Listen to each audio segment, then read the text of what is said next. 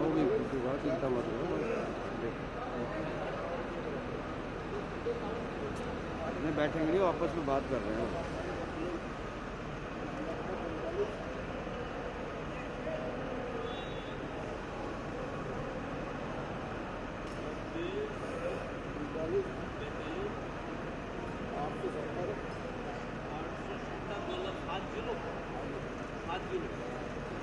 बीड़ी P रहे हैं हम्म, बीड़ी P रहे हैं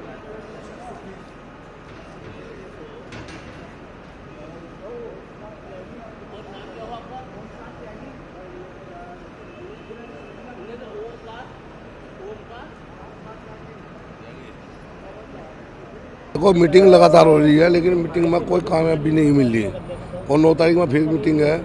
अगर नहीं होती तो धरना लंबा चलेगा और हर तरह से चाहे दिल्ली जाम करनी पड़े या यूपी जाम करने पड़े, और किसान भी भारी भारी मात्रा में दिल्ली के लिए कूच कर रहे हैं। और बाकी जो भी आदेश हमारे राष्ट्रीय प्रवक्ता श्री राकेश टिकैत जी का होगा, उनके आदर्शों पर चल चलकर उनका काम करेंगे। सरकार वार्ता कर रही है लेकिन जो किसानों का काम है जो किसानों की मांग है जो किसान यहाँ पे मुद्दा लेकर बैठे हैं लेकिन सरकार उस मुद्दों पे काम नहीं कर रही। हाँ बिल्कुल करेंगे जी।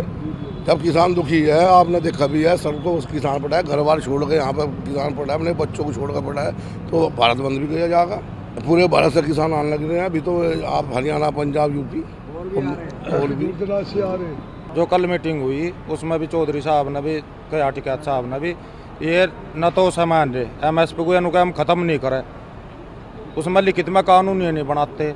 जो और ये तीन कानून है, कल साहब कह दिया, सभी किसान नेताओं ने जो भी वहाँ जा रहे थे, टिकैत साहब थे उन्होंने कह दिया, तीनों कानून वापस लो। और इससे कुछ इससे कम कोई बातचीत नहीं होगी।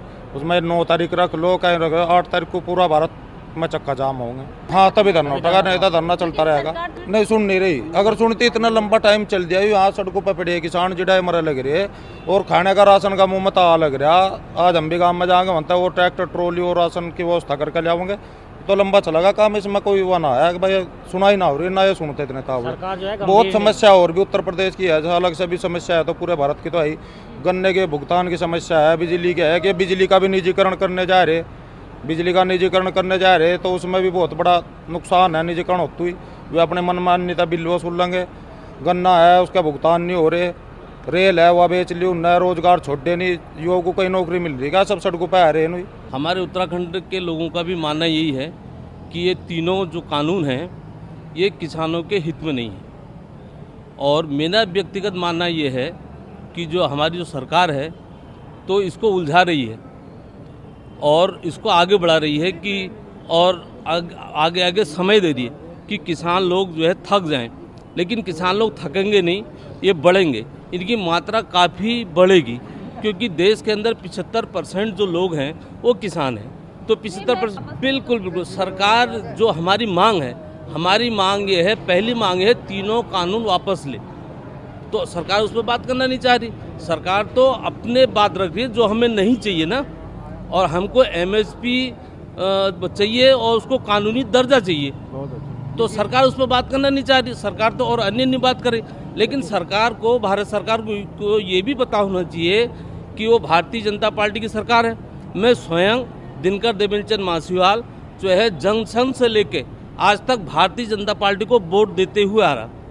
तो मुझे बड़ा ये दुख हुआ कि हमारे हमने इतने लंबे समय से प्रयास किया इस पार्टी को जो है केंद्र तक पहुँचाया और भारी तो बहुमत मतलब दिया तो उसके बाद हमें नतीजा ये मिला। तो हम तो किसान हैं। हाँ सबसे पहले तो हमें वो चाहिए, वह तो अपनी रोजी रोटी। तो अपने पेट का सवाल है, पहले तो हमें एमएसपी चाहिए।